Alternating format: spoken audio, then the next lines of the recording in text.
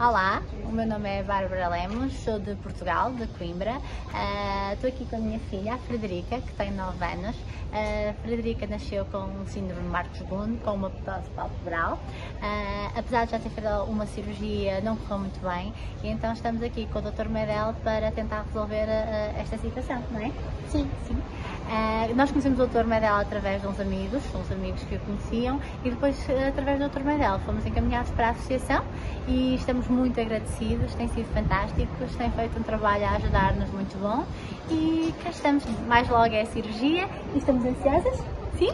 Estamos. Com força e pronto. Depois mostramos o resultado. Certo? Tchau!